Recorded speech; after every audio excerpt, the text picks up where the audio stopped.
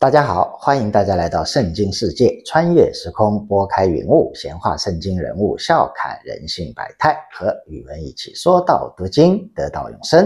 上回我们介绍了以色列人在进攻耶利哥前的一次侦察行动，重点介绍了小女子喇合通过配合保护以色列间谍的英勇行为，展示了他对上帝的敬畏和追求。从而成功实现了他人生的逆袭。喇合的故事强调了信仰的力量啊！由于他的行为和对上帝的仰慕，不仅保全了他全家人的生命和财产，而且全家都归化成了犹太人，更使他自己得着了无上的荣耀，成为了耶稣基督家谱中的女人啊！这个地位可不得了。说到这里呢，我想有必要简单介绍一下耶稣家谱中的另外三个女人啊。在马太福音中呢，耶稣的家谱中提到了四个女人，这四个女人啊，身份地位背景啊天差地别，但她们呢都有一个显著的共同特点，就是在人们的眼中，这四个女人都不完美啊，甚至呢还很离谱。那除了妓女出身的外邦人喇合之外，那另外三个是谁呢？由于耶稣基督的族谱是来自以色列的第四子啊，就是四阿哥犹大，其实呢就是实际继承人。这在我们以前的节目中介绍过。因此呢，第一位出现在耶稣家谱里的女人。是犹大的媳妇啊，名叫他玛。她本来啊是犹大长子的老婆，但因为她的这个老公啊生活糜烂啊，很不靠谱，因此呢不受老天爷的待见，也生不出小孩，并很早就死了。于是呢，按照犹太人的习俗，他玛应该由老公的弟弟负责啊，与他同房。以延续家族血脉，想不到他这个小叔子啊，更不靠谱啊！只知道占他的便宜，却不愿意承担义务，竟然啊，在与他同房的时候采取了避孕的手段，结果呢，也被上帝给废了。之后的故事啊，在人们看来就更离谱了。这个他妈乔装成妓女啊，又是一个妓女。与她公公犹大同房，生下了一对双胞胎，从而得以延续家族的血脉。那么可见啊，当时的习俗，女人为了生孩子啊，可真是不惜一切代价。但要说明的是啊，这个他玛的行为是符合当时的犹太法规的。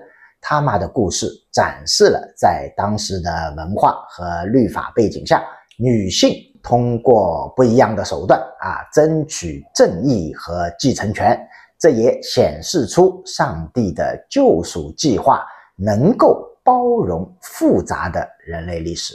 还是那句话，我们研判历史人物，必须穿越时空，到当时的社会环境中去探索答案。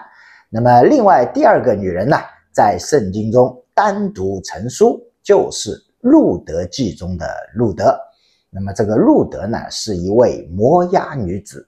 她在丈夫去世后，选择跟随婆婆拿俄米回到了以色列。她以她的忠诚和爱心，赢得了以色列人波阿斯的心。那么这个波阿斯是谁呢？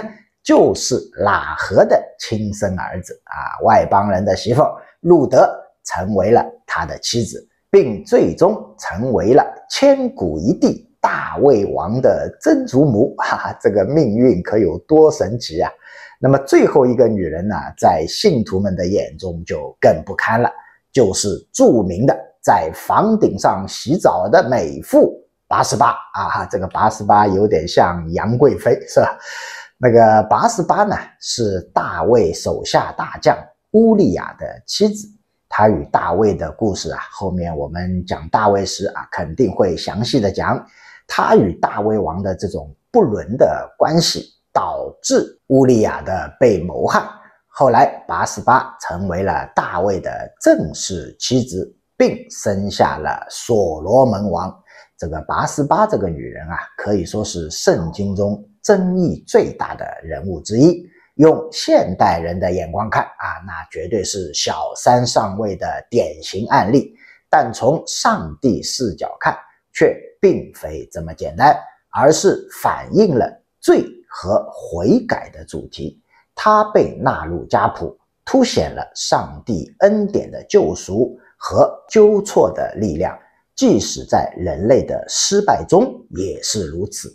这四个在耶稣家谱中的女人故事，各自展示了人类历史中复杂和不完美的元素，同时呢，也强调了上帝的救赎和恩典是如何在这些境况中得以彰显的。他们的存在表明，耶稣的来临是为了所有愿意悔改认罪并信仰上帝。坚信耶稣基督救赎的人啊，不论其背景和过去，就如前面我们引述耶稣的话：“我来本不是招义人悔改，乃是招罪人悔改。”好，接下来呢，我们还是回到耶利哥之战。在这之前啊，依然请好朋友们多多帮忙点赞、评论、转发，并按下订阅键，谢谢大家。那么话说啊，以色列人在开始他们奇特的耶利哥环城大游行之前啊，有三件事情呢必须要完成：一是搞间谍活动啊，摸清敌人的弱点；二是必须渡过约旦河；第三还要完成一项艰巨的任务啊，就是给新一代人举行割礼啊。这可是以色列人在承受上帝的恩赐前。必须完成的标志性任务啊，否则呢，我们之前说过，即便如摩西般顶级的属灵人物，都差一点被上帝给废了。那么第一件事情呢，我们已经说了。第二件事，过约旦河呢，又是一件流传千古的神迹。为什么呢？因为这次过河的方式又和他们过红海一样，是走着过去的。区别在于，那次是出埃及，并被法老的追兵撵着走啊，而这一次呢，是为了进入应许之地，抬着上帝的约柜，满怀期待和感恩之心，主动跨过约旦河，其意义呢完全不同。我们看圣经记载，约书亚清早起来，和以色列众人都离开石亭，来到约旦河。就住在那里等候过河。过了三天，官长走遍营中，吩咐百姓说：“你们看见耶和华你们神的约柜，又见祭司立位人抬着，就要离开所住的地方，跟着约柜去。只是你们和约柜相离要两两千走，不可与约柜相近，使你们知道所当走的路，因为这条路。”你们向来没有走过。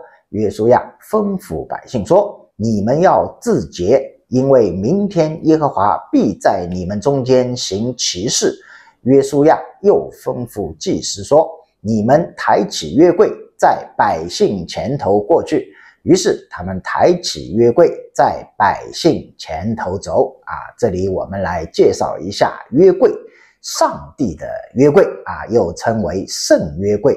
是古代以色列人最神圣的宗教器物之一。根据圣经的记载，约柜呢是由摩西在西奈山上按照上帝的指示啊制造的，是一个长约一点一米、宽约零点七米、高零点七米的木箱子啊。外面呢镀有纯金，它的顶部有一个称为施恩宝座的金盖。这个施恩座的两端有两个精致的基路伯啊，就是天使，他们的翅膀向前伸展，彼此相对，遮掩着施恩座。那么约柜象征着上帝与以色列人立约的象征，代表了上帝的同在和荣耀。它被视为上帝与以色列人交流的重要平台，哈哈，如同我们现在即使远隔万里，只要有共同的社交软件，就可以轻松交流的意思差不多哈。那约柜不能是空箱子啊，是吧？里面有什么呢？放着什么宝贝呢？约柜里呢，的确保存着几件神圣的物品啊，这里面呢。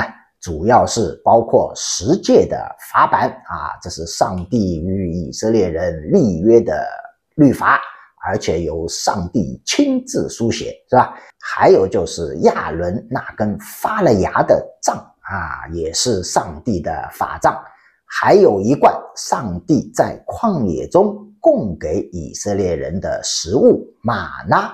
那么这几样宝贝啊，都不得了啊，都是来自于上帝的恩赐，象征着神的公义与拯救。自从约柜做成以后啊，这个以色列人在信仰生活和军事实践两方面啊，就完全离不开它了。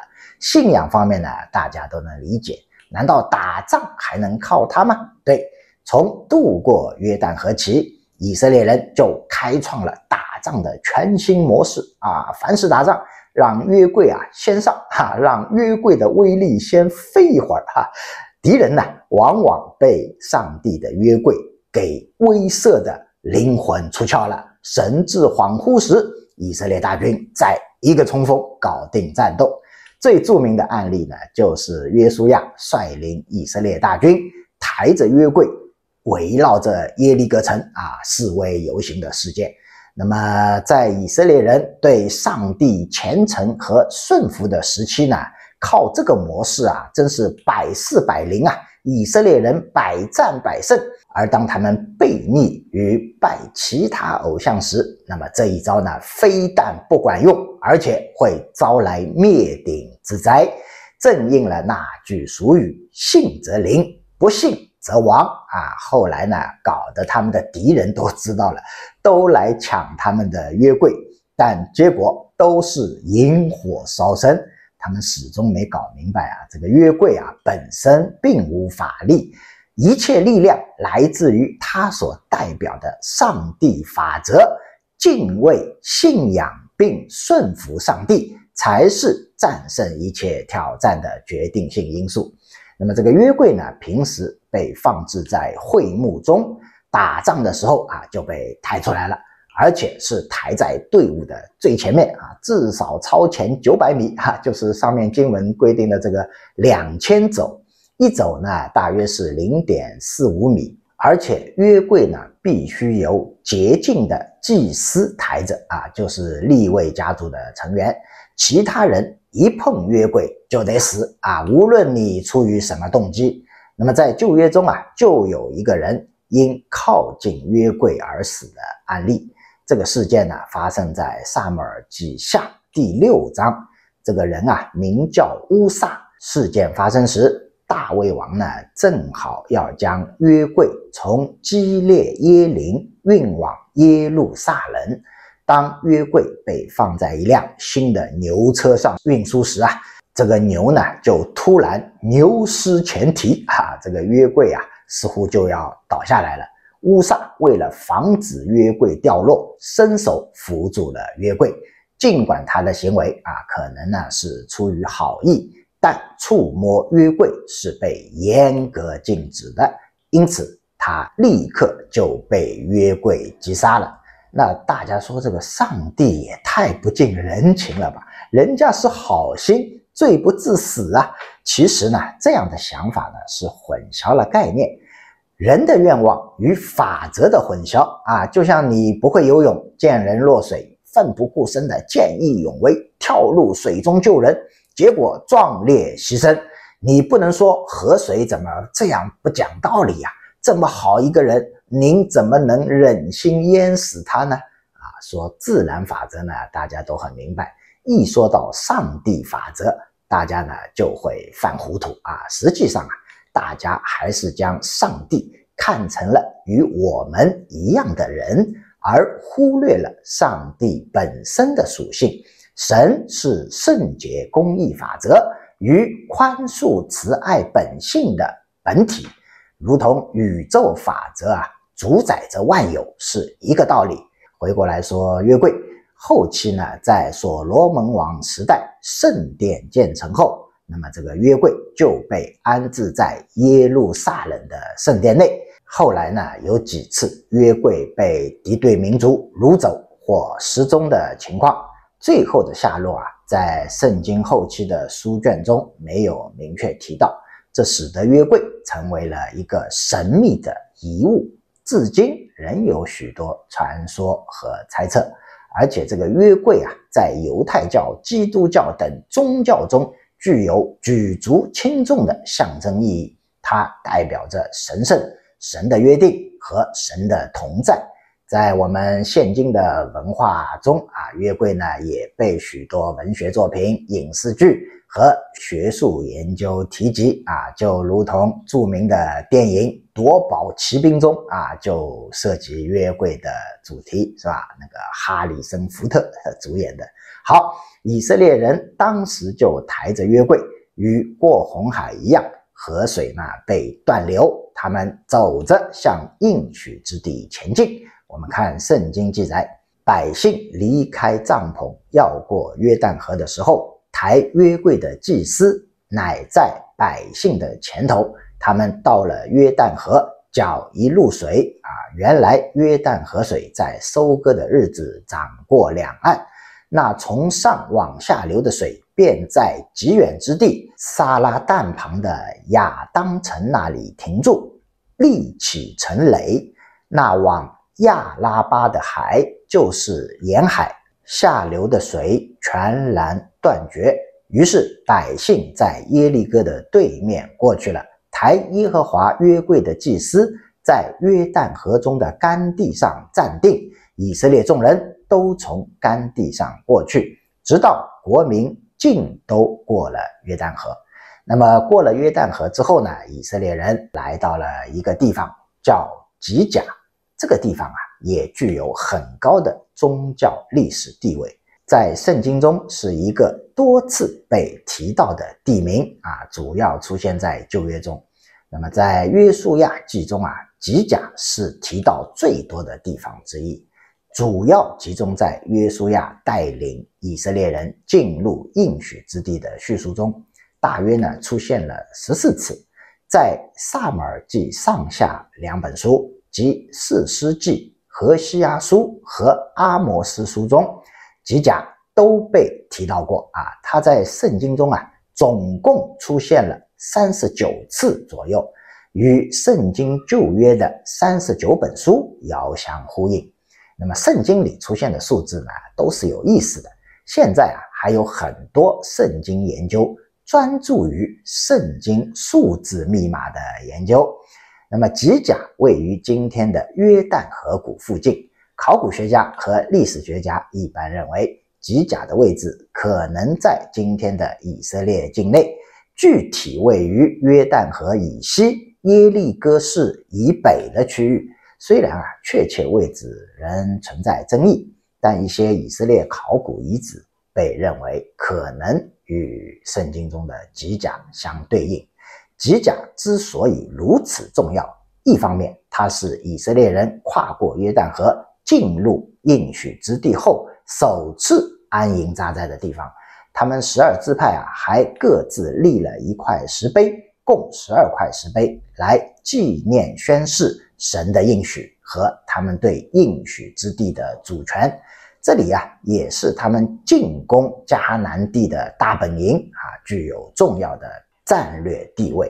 从属灵的角度来看，机甲的意义就更是重要了，因为新一代的以色列人在这里完成了他们最最重要的身份识别系统，哈哈，也就是完成了割礼。至此，一切准备工作顺利完成了。绕耶利哥城的大型示威游行活动正式展开。下一讲我们精彩继续，请喜欢的朋友们点赞、评论、转发、订阅本节目，谢谢大家的观赏。